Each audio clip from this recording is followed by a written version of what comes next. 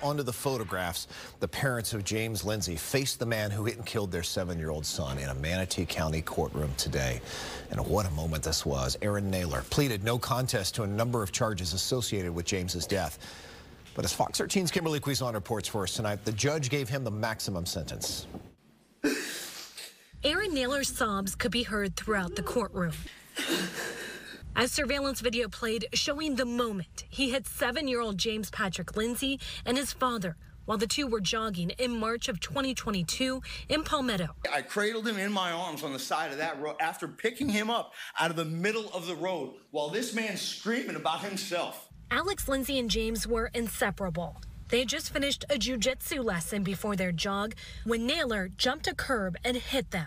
He was driving in a commercial van, speeding, and had extremely high levels of meth in his system. When Palmetto police tried to arrest him, he ran several times. There's just a million ways that it could have happened that I could actually have honest to God remorse and feel that those tears were real. Naylor pled no contest to multiple charges, including DUI manslaughter, possession of drugs, and resisting arrest. Naylor's mother told the court her son suffered from years of mental and physical abuse. I would never, ever want to cause the same pain. Naylor begged for forgiveness. If I could change, take my life for his, if that was an option, I would do that. I honestly would. Assistant State Attorney Garrett Franzen reminded the court this was no accident. This is an intentional act.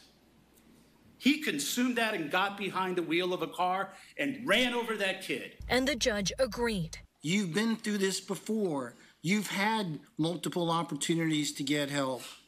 You chose not to do that. Judge Macario sentenced Naylor to the maximum he could 24 and a half years in prison a small portion of a lifetime James Linzi will never have. You snuffed out the life of a seven year old, depriving the world of that young man. In Manatee County, Kimberly Kuizon, Fox 13 News. Well, James's father also spoke about how his son's death has impacted so many children in their community.